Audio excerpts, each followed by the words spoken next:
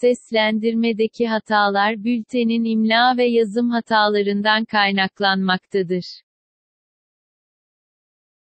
Arama motorundan navigasyona ve mail hizmetine kadar sunduğu pek çok servisin yanı sıra aynı zamanda Avrupa'nın en büyük sürücüsüz otomobil geliştiricisi olan Yandex. Otonom araç teknolojisinde bir yeniliğe daha imza attı. Yandex'in yeni teslimat robotu Yandex Rover test sürüşlerine başladı. Geçtiğimiz Ekim ayında sürücüsüz otomobilleri ile şimdiye kadar 1.6 milyon kilometre otonom yol kat ettiğini açıklayan Yandex, sürücüsüz otomobil teknolojisini hayatın farklı alanlarını kolaylaştıracak şekilde kullanmaya devam ediyor. Yandex, sürücüsüz otomobilleri için kullandığı otonom düzenine sahip olan yeni bir araç daha geliştirdi. Yaya hızında giden, valiz boyutunda, altı tekerlekli bir robot olan Yandex.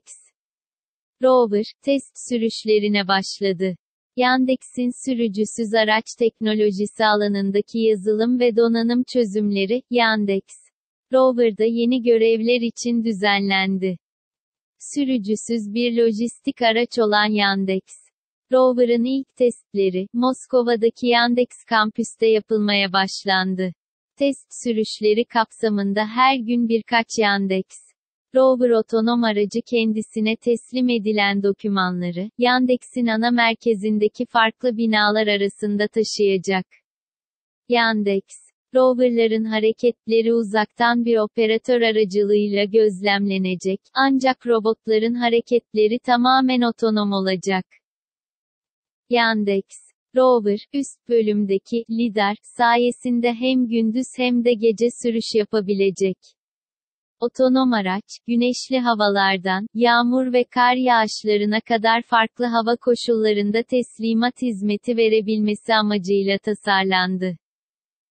Yandex, Rover'ın test sürüşü sırasında çekilen videoda, boyutu ve kompakt tasarımı ile rahatlıkla hareket eden robotun, teslim edilen dokümanları alışı, karşısına çıkan engellerin etrafından dolanması ve hedef noktasına doğru gidişi aşama aşama görülebiliyor. Şu an test sürecinde olan Yandex, Rover'ın, Yandex ekosistemine kusursuzca uyum sağlayabileceği düşünülüyor.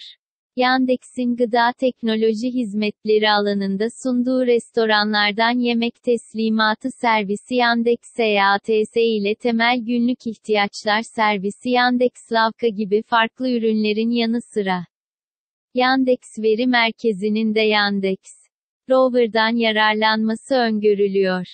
Yandex Rover'ın aynı zamanda, tüm dünyada hızlı bir şekilde büyüyen ve yeni nesil teslimat olanaklarına ihtiyaç duyulan e-ticaret pazarında da kullanılması olasılıklar arasında yer alıyor. Test sürecinin başarıyla tamamlanması halinde Yandex, Rover diğer kurumların da hizmetine sunulabilecek.